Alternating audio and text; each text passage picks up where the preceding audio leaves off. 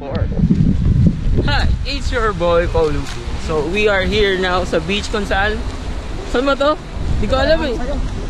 So yun, swimming na kami. And you see this place? So beautiful. So guys, swimming na ako. And I'll...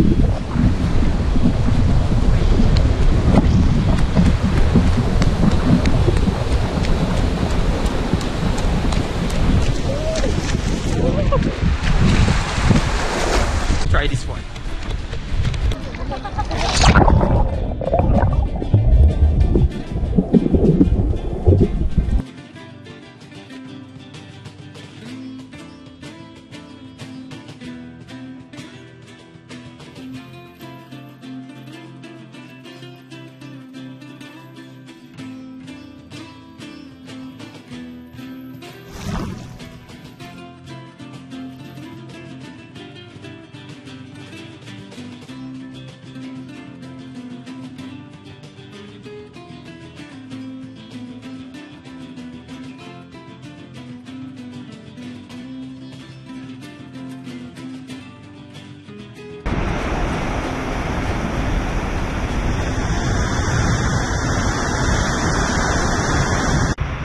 It's my last day guys sa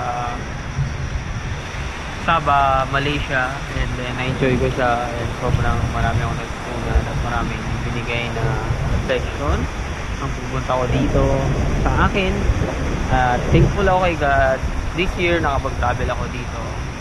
Ay nakalimutan ko halos lahat ng problema ko. At sobrang saya ko. Ah, yun. Thank, thank God. Thank God for everything. Salamat sa